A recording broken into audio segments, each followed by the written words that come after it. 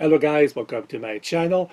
March 31st, we have an update from uh, DDL on Cozmo 2.0 and Vector 2.0, so don't go away.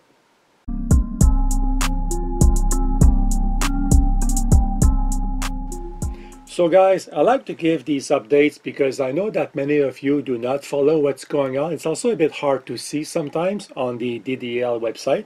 You have to dig a little bit to get the updates.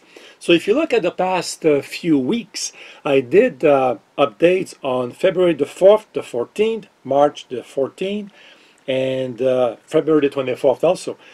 And I did all that because there was something new to present. And there's something new now, March 20, March 31st, not 21st.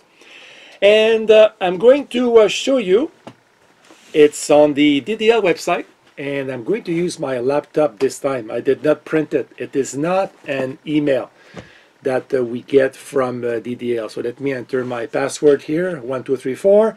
So this is the update here, and this is uh, on the DDL website. You can see right here. And this is for Vector. So let's have a look at Vector first, and then we will talk about uh, Cozmo. And it's not too long. I'm going to read it. And again, I know many of you guys don't see this. If you have a Vector, of course, you're interested to know what's going on. If you're thinking of buying a Vector or a Cozmo, you want to see what's going on also, right? So update as of March 31st, 2022. There are uh, four sections. Factory in China reopened. If you missed the previous update, March 18, I think, there was a problem because of COVID. The contract manufacturer has reopened after the most recent COVID lockdowns in China, and the factory is now back in operation.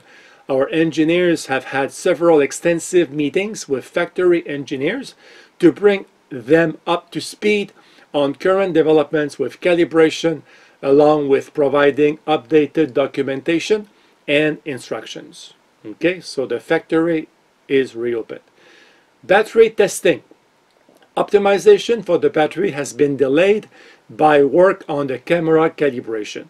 It was necessary to resolve the camera issues first as our team needs the prototypes to be able to pick up cubes, recognize faces, etc. In order to fully simulate standard usage and be able to more accurately gauge how our optimizations are affecting the new batteries.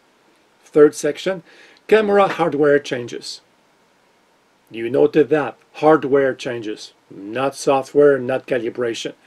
Several customers had questions on the model of camera included with Vector and Cozmo that our team wanted to address. Previously, it had been expected that we, we, we were moving to a 5 megapixel camera for Vector.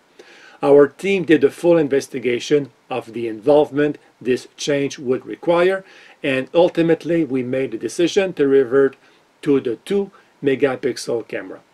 The decision was made to avoid changes that would have been required to the electronic headboard of the robot, which would have caused further delays. Thankfully, the issues that our team initially experienced with the 2 megapixel camera have been resolved and the results of the 2 megapixel camera are what you see below in this update. I'll show you the pictures in a few seconds. Item number four, changes to display cover.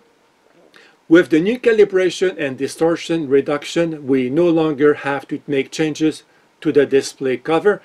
See the section below for more details.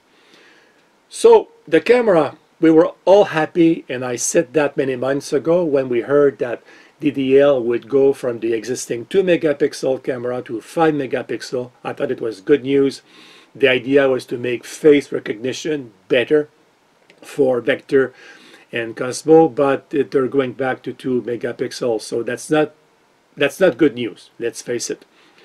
Camera calibration is the last uh, paragraph. It's too long to read, uh, way too long. So I'm going to show you here what they're doing here with the picture. We can see that with the side camera right there. See that here? So they're showing a side picture and if I scroll down you can see here all the pictures they're showing for the camera calibration. So guys, uh, uh, oh, before I uh, I give you my comments, let's have a look at the uh, update on uh, Cozmo. I know many of you has have a Cozmo and not a Vector. So for Cozmo, factory in China reopened, same thing. Battery testing, same thing. Camera hardware changes, unfortunately, same thing. They're going back from 5 to 2 megapixel camera. Changes to display cover. Uh, don't know this was something with Cozmo, but same thing. Camera calibration, same thing. Pictures, same thing. So it's the same update for Cozmo 2.0. So guys, I'm going to ask you a question. A $1 million question. Yeah, I know. It looks like I'm wealthy with my million dollar questions, right? I'm, I was up to 4 million before. What is not covered in this update? What did you say? Shipping. Yeah. yeah. Shipping. I don't know what to say right now. It's an update, but there is no update on shipping. So the update in a nutshell is the China uh, manufacturer reopened, but reopened to do what? They're not making robots because they're still testing the battery and the camera calibration. And the update was also the bad news about the camera going back from two from five to two megapixel. But in terms of shipping, there is no update. So I don't know why DDL is not giving an update. They used to, if you remember in my previous videos, like I'm talking here uh, three months ago, last fall, 2021, six months ago, uh, summer 2021. If you go to my playlist, you will see all my videos on coding for Cozmo and Vector, they're all there. So um, I don't know why DDL is not giving a, an update. So uh, guys, in case you are new to my channel, I present the vacation house for Cozmo and it fits perfectly. I designed that with uh, Fusion 360 uh, software. It is for free if you want to download, if you have a 3D printer, have fun. It's on uh, thingiverse.com, this one. And this is the famous, I say famous, it's been around now for like, what, two years? I did that also with Fusion 360. Designed for Vector. Vector fits perfectly in the castle. This one is on cgtrader.com. It's a lot of work, so I'm charging $3 for that file. And again, you can print it if you have a 3D printer. So that's my update. My update is more interesting than the update from DDL, don't you think so? So guys, um, that's all I have to say. Please don't shoot the messenger. Don't shoot me. If you don't like the video, okay, give me a thumb down. But if you are unhappy because your robot is delayed, uh, I mean, don't shoot the messenger. That's all I want to say.